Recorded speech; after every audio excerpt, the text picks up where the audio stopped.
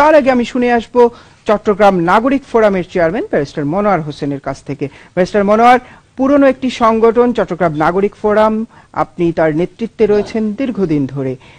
জানার ইচ্ছে যে এই যে নতুন বছরের একটা নির্বাচন হতে যাচ্ছে দু হাজার একুশ সাল, এই সময়ে এই ভোটে জনপ্রতিনিধিত্ব যারা নির্বাচন, নির্বাচিত হয়ে আসবেন, ভোটাররা আসলে কোন দিকটি বিবেচনায় নেবেন তাদের, আপনার দৃষ্টিতে? ধন্যবাদ। প্রথমত কথা হচ্ছে, এই নির্বাচনটা হচ্ছে কিন্তু ছয় বছর পরে, আকাঙ্ক্ষিত ছিল পাঁচ বছর করোনা ভাইরাসের কারণে অবশ্যই সবকিছুই প্রভাবিত হয়েছে, এইটাও পিছিয়ে গেছে। চট্টগ্রাম কিন্তু মানুষের চট্টগ্রাম নিয়ে একটু আকাঙ্ক্ষাটা বেশি। সারা দেশ তাকিয়ে থাকে চট্টগ্রাম। স্বাধীনতার পঞ্চাশতম বার্ষিকী হতে যাচ্ছে এই ছাব্বিশে মার্চ। চট্টগ্রাম থেকে কিন্তু প্রথম প্রতিরোধটা শুরু হয়েছিল। এবং সেই চট্টগ্রাম জাতীয় রাজ রাজস্ব একটা সিংহভাগের যোগানদার এবং সবচেয়ে বেশি ইকোনমিক্যাল দিক থেকে সবচেয়ে বেশি একটা ইম্পর্টেন্ট এবং ইন্টারন্যাশনালি এটা একটা ইম্পর্টেন্ট একটা জায়গা। অথচ এই চট্টগ্রামের কিন্তু উন্নয়নের জন্য একটা মাস্টার প্ল্যান ছিল সিক্সটি এইট তারপরে এটাকে ইমপ্রুভমেন্ট করা হয়েছে নাইনটি ফাইভে কি অ্যামেন্ডমেন্ট করা হয়েছে, চট্টগ্রামকে সুন্দর করে সাজানোর জন্য অনেক আন্দোলন সংগ্রাম আমরা করেছি। অনেক কিছু এখানে করা হয়েছিল। কিন্তু চট্টগ্রাম মানুষ কখনো এই যে যানজট মুক্ত চট্টগ্রাম দেখেনি, জলাবদ্ধতা মুক্ত চট্টগ্রাম দেখেনি। সবচেয়ে বড় যেটা আকাঙ্ক্ষা, সেটা হচ্ছে মানুষের, মানুষ জলাবদ্ধতা থেকে মুক্ত, মুক্তি পেতে চায়। পাঁচ ভাগের এক ভাগ শহরের বাড়িঘরগুলো প্রায় এক ধরনের অ্যাবান্ডেন্ট হয়ে গেছে, সেগুলো পরিত্যক্ত হয়ে গেছে, মানুষ থাকতে পারে না, অস্বাস্থ্যকর হয়ে গেছে। কোনো কোনো জায়গায় দুই বেলা এবং বর্ষাকালে এমনকি গ্রীষ্মকালেও সেখানে দুই বেলা জোয়ারের পানি উঠে। আগ্রাবাদ বাণিজ্যিক এলাকার মতো স্থানে। বুঝতে পারছেন, মানুষের আকাঙ্ক্ষা আর কি হতে পারে? আমাদের চট্টগ্রামের মানুষ কিন্তু বেশি কিছু চায় না। এই সব কিছু থেকে মুক্তি পেতে চায় মাননীয় প্রধানমন্ত্রী, বুঝতে পেরেছেন। আমাদের স্মারকলিপি এবং অন্যান্য কর্মসূচির কারণে দুই হাজার পনেরো সালে তিনি সিদ্ধান্ত দিয়েছেন একনাকের মাধ্যমে সাড়ে পাঁচ হাজার কোটি দিয়ে মেগা প্রকল্প করার জন্য জলবদ্ধতা সমস্যা সমাধানের জন্য। আমার কথা হচ্ছে যিনি মেয়র হোক না কেন, যেভাবে আসুক না কেন, কাউন্সিলর এবং মেয়ররা সবাই মিলে অন্যান্য যে কর্তৃপক্ষ আছে, সিডি আছে, ওয়াসা আছে, ওয়াবদা আছে, পানি উন্নয়ন বোর্ড আছে, বন্দর কর্তৃপক্ষ আছে, রেলওয়ে আছে, সবাইকে নিয়ে সমন্বয় করে এই প্রকল্পগুলো বাস্তবায়ন করতে হবে। মাননীয় প্রধানমন্ত্রী চেয়েছিলেন তিন বছরের মধ্যে বাস্তবায়ন করতে, সেটা হয়নি। কেন হয়নি? এই লোকাল অথরিটি গুলো, তারা সেটা করে আসতে পারেনি। যিনি মেয়র হবেন, যারা কাউন্সিলর হবেন, তাদের দায়িত্ব হবে সুনির্দিষ্টভাবে এইগুলোকে সফল করা। যে ফ্লাইওভারগুলো হয়েছে, কোন কোন ক্ষেত্রে থেকে যায় সেই ফ্লাইওভারগুলো কাজে লাগছে না। বর্ষাকালে কোন কোন জায়গায় পানি ওঠার পর্যন্ত আপনারা প্রতিবেদন করেছেন, অভিযোগ করেছেন। এই যে সরকারি অর্থ যথাযথভাবে ব্যয় না করা, মাননীয় প্রধানমন্ত্রী কিন্তু আন্তরিকভাবে কত কিছু করছেন, টানেল করে দিচ্ছেন। কিন্তু আমরা যদি এটা ব্যবহার করতে না পারি আমরা যদি উন্নয়ন প্রকল্পের বাজেটগুলো যদি ঠিকভাবে কাজে লাগাতে না পারি, তাহলে তো বাজেট দিয়ে কোনো লাভ হবে না। চট্টগ্রামের নেতৃত্বকে চট্টগ্রামের জন্য আরও সিনসিয়ার হতে হবে সিরিয়াস হতে হবে। তাহলে তো বরাদ্দ আসবে, কাজ হবে। কাজ যদি হয়, অর্থ যদি সঠিকভাবে কাজে লাগানো যায়, তাহলে সবাই, কেন্দ্রীয় সরকার সেক্ষেত্রে সবচেয়ে বেশি উৎসাহিত হবে, আরও বেশি দেওয়ার জন্য। যেভাবে টানেলের জন্য এগিয়ে আসছেন। আগে চট্টগ্রামের মনে করেন একটা কালুঘাট সেতু। এটা চট্টগ্রাম সিটি কর্পোরেশনের জীবনকে প্রভাবিত করে। এটা বিশাল একটা গুরুত্বপূর্ণ বিষয়। কেন হচ্ছে না? মাননীয় প্রধানমন্ত্রী কিন্তু সেটা আশ্বাস দিয়েছেন।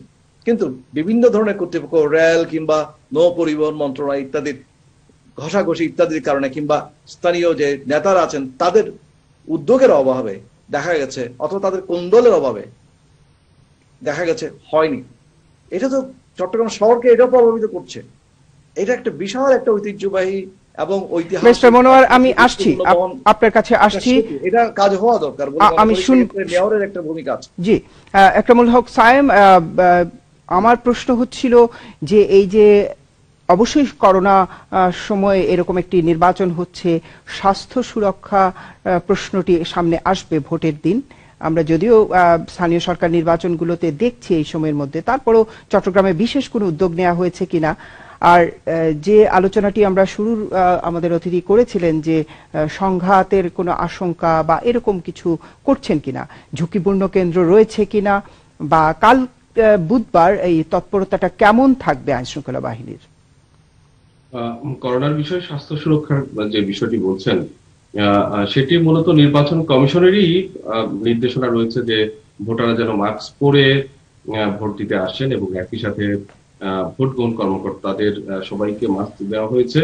তারা সবাই যেন মাস্ক পরেন এবং একই সাথে যেই স্যানিটাইজারের যে বিষয়গুলো, সেগুলো প্রত্যেকটি ভোট পক্ষে থাকবে। সেখানে হাত পরিষ্কার করে আপনি জানেন যে ইভিএম এ যেহেতু ভোট দিতে হবে প্রত্যেকের বায়োমেট্রিক্স নেওয়া হবে আঙ্গুল ফিঙ্গারিং এর বিষয়টা থাকবে। সেখানে তারা আগে এবং পরে স্যানিটাইজ করে এই ব্যবস্থাটিতে অংশগ্রহণ করতে পারবেন।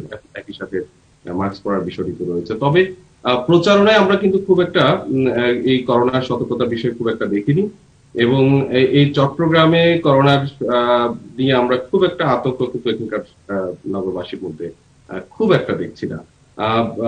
নির্বাচন কমিশনের পক্ষ থেকে কিছু ব্যবস্থা নেওয়া হয়েছে যেটি আগেও নেওয়া হয়েছে। চট্টগ্রাম নির্বাচনের জন্য আলাদা করে আহ, কিন্তু ভোটার কিংবা নাগরিকদের মধ্যে আমরা করোনা নিয়ে খুব বেশি আতঙ্ক কিংবা সতর্কতা সেভাবে দেখছি না। আর যেটি বলছেন ঝুঁকিপূর্ণ কেন্দ্রের কথা, সেটা আমি আগেই বলেছি যে এখানে সাতশো পঁয়ত্রিশটি কেন্দ্রের মধ্যে চারশোরও বেশি কেন্দ্র ঝুঁকিপূর্ণ। ঝুঁকিপূর্ণ বলতে বিভিন্ন কারণে সেগুলোকে গুরুত্বপূর্ণ বলা হয়ে থাকে। গুরুত্বপূর্ণ বিবেচনা করে বাড়তি কিছু ব্যবস্থা নেওয়া হয়ে থাকে। সেরকম ব্যবস্থা নেওয়া হয়েছে। আর এছাড়া আর কোনো উদ্বেগের কথা যদি বলেন যে আসলে বিএনপির প্রার্থী শুরু থেকেই তার নানান ধরনের উদ্বেগের কথা বলেছেন, আজকেও বলেছেন, কয়েকবার আজকেও তিনি রিটার্নিং কর্মকর্তার কাছে গেছেন, তার ভোটারদের ভয়ভীতি দেখানোর বিষয়। রিটার্নিং কর্মকর্তা আশ্বাস দিয়েছেন যে যদি কারও কোনো নিরাপদ কাউকে হয়রানি করা হয়, সে ব্যাপারে তিনি ব্যবস্থা নেবেন। কিন্তু ফৌজদারি অপরাধের সাথে যদি কেউ জড়িত হয়, সে ব্যাপারে তার কিছু করার নেই, সেটিও তিনি স্পষ্ট জানিয়ে দিয়েছে তো তো সব মিলিয়ে যে সমস্যাগুলোর কথা বলেছেন আমাদের আগের অতিথি আসলে এখানে দুই প্রার্থী, দুই প্রধান প্রার্থী বিশেষ করে, তারা কিন্তু তাদের নির্বাচনী প্রতিশ্রুতিতে প্রায় একই ধরনের বিষয়গুলোই তুলে এনেছেন যে নগর জীবনের যে সমস্যাগুলো আছে, সেগুলো সমাধানের আশ্বাস তারা কীভাবে দিবেন সেই সমস্যাগুলো কিন্তু প্রায় একই রকম ভাবেই উঠে এসেছে এবং জলাবদ্ধতার যে ইস্যুটি, এটি শুধু এই নির্বাচনে নয়, এর আগের যতগুলো নির্বাচন ছিল, সেগুলোতেও কিন্তু জলাবদ্ধতার ইস্যুটি চট্টগ্রামের প্রধান ছিল। যদিও এখনও পর্যন্ত তার স্থায়ী কোনো সমাধান আসেনি। এখন দেখার বিষয় যে আসলে ভোটাররা সেই প্রতিশ্রুতিগুলো বিশ্লেষণ করে ভোট দিবেন, নাকি তাদের যে দলীয় ভোট ব্যাংক রয়েছে রাজনৈতিক দলগুলো, সেটা আসলে নির্বাচনে প্রভাব ফেলবে এবং একই সাথে ভোটার উপস্থিতি আসলে কতটা হয় সেটাও নির্বাচনের হিসেব নিকেশ অনেকটা পাল্টে দিতে পারে। অনেক ধন্যবাদ, একরামুল সাহেব বেস্টার মনোয়ার একই প্রশ্ন যে জলাবদ্ধ জলাবদ্ধতা নিরসনের ইস্যুটি বারবার আসছে এই ভোটার প্রতিশ্রুতি, ভোটের সময় প্রতিশ্রুতি হিসেবে কিন্তু কার্যকর হচ্ছে না। আপনি বলছিলেন নেতৃত্বের কোন্দল বা নেতৃত্বের যোগ্যতার প্রশ্ন আপনি তুলছিলেন। সেক্ষেত্রে চট্টগ্রাম নাগরিক ফোরামের বা নাগরিক সমাজের ভূমিকাটা কি? সমস্যাটা হচ্ছে আমি একটা কথা বলেছিলাম, সেটা অসম্পূর্ণ রয়ে গেছে, সেটা হচ্ছে মাস্টার প্ল্যান যেটা নাইনটি ফাইভে রিভাইজ করা হয়েছিল, সেটাতে জলবদ্ধতার একটা মহা পরিকল্পনা সুয়েরেজ প্রকল্প সহ দেওয়া হয়েছিল। সেটাকে ইমপ্লিমেন্ট করার জন্য কেউ উদ্যোগ নেয়নি বিকল্প খাল করার কথা ছিল, তাহলে আজকে এত কষ্ট হতো না। আজকে জলবদ্ধতার কারণে, জলবদ্ধতা আরও একিউট হয়েছে, কঠিন হয়েছে এইসব কারণে। এখন কোন্দল আমি যে কথা বলছিলাম, এটা হচ্ছে একটা কালুঘাট সেতুর কথা বলেছি, সেটা এক সাইড সেটা চট্টগ্রাম শহরকে প্রভাবিত করে। কিন্তু একটা বিশাল একটা ব্যাপার আছে, সেটা আবার চট্টগ্রাম সিটি কর্পোরেশনের জুরিসডিকশনের বাইরেও আছে, ভিতরেও আছে। কিন্তু আমি যেটা বলছিলাম, জলাবদ্ধতা এবং অন্যান্য বিষয়গুলোতে যানজট, তারপর পরিচ্ছন্ন নগরী করা, স্বাস্থ্যকর নগরী করা, বায়ু দূষণ থেকে শহরকে রক্ষা করা, শিক্ষা ব্যবস্থার উন্নতি করা, মাদক থেকে সেখানে মুক্ত করা, সন্ত্রাস থেকে মুক্ত করা, সামাজিক সম্প্রীতি সুন্দর একটা পরিবেশ সৃষ্টি করা এবং সেখানে একটা নান্দনিক একটা সুন্দর একটা আন্তর্জাতিক মানের নগরী যদি করতে হয়, সেখানে সুন্দর ফুটপাথ দরকার, সেখানে অনেক কিছুই দরকার। যেখানে এলিভেটেড ট্রেন লাইন হচ্ছে এবং যেখানে ফ্লাইওভার অলরেডি হয়েছে, আমি যেটা বলছি, এখানে লিঙ্ক রুট হচ্ছে বর্তমানে হয়েছেও সমুদ্রের পাড়ে, নদীর পাড়ে।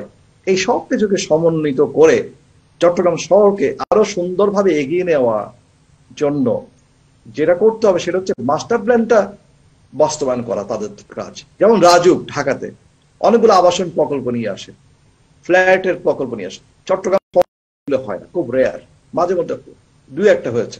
কেন হয় না? চট্টগ্রাম তো বাণিজ্যিক রাজধানীর মর্যাদায় আছে। ঢাকার পরে যদি চট্টগ্রামের গুরুত্ব যদি রাজনৈতিক দিক থেকেও হয়, ভৌগোলিক দিক থেকেও যদি হয়, তাহলে এত অবহেলিত কোনো? আমি মনে করি সেক্ষেত্রে নেতৃত্বের উদ্যোগটা প্রয়োজন আছে। আজকে মানুষের আকাঙ্ক্ষা হচ্ছে সেখানে বেশি কিছু মানুষ চায় না। পাঁচ বছরের মধ্যে একজন মেয়র কিংবা কাউন্সিলরদের সময় হঠাৎ করে ফুরিয়ে যাবে। অনেক বেশি সময় নয়। কিন্তু পাঁচ বছর একদিকে চিন্তা করলে অনেক কাজেই করা যায়। অন্তত পরিকল্পনাগুলো নিয়ে এগুনো যায়। তাহলে পরবর্তীতে যারা আসবে, তারা বাকিটা করবে। সবকিছু ওনাকে শেষ করতে হবে, কোনো কথা নেই। একটা পরিচ্ছন্ন শহরের জন্য পরিচ্ছন্ন পরিকল্পনা থাকা চাই। তার মেধাকে কাজে লাগাতে হবে। সবার রাজনৈতিক একটা, যার যার একটা ব্যাকগ্রাউন্ড আছে। সবাই পলিটিক্স করে আসছেন কিংবা শিক্ষাগত যোগ্যতা নিয়ে আসছেন সেটা নিয়ে আমি কোনো প্রশ্ন তুলছি না। প্রশ্নটা হচ্ছে ওই মেধাকে আমরা কাজে লাগাচ্ছি কিনা? সিনসিয়ার হতে হবে। আমরা এখানে যেই দল থেকে নির্বাচিত হোক না কেন এখানে কোনো অবস্থাতেই আমরা যেন সেটাকে দলীয় আঁকড়া হতে না দিই। কোনো প্রকার দুর্নীতি টেন্ডারবাজি এগুলি যেন শিকার হতে না হয়। তাহলে যে দলবাজির ঊর্ধ্বে থেকে যদি জনগণের মেয়র হতে পারেন যিনি নির্বাচিত হবেন তাহলে তিনি উন্নয়ন অন্তত একটা ভালো সিগনিফিকেন্ট একটা উন্নয়ন তার থেকে আমরা আশা করতে পারব। অনেক ধন্যবাদ। ব্যারিস্টার মনোয়ার হোসেন। একরামুল হক সায়েম আমাদের সঙ্গে এই আলোচনায় যুক্ত হওয়ার জন্য। দেবব্রত আহ, বিষ্ণু শুনছিলেন আহ, বক্তব্য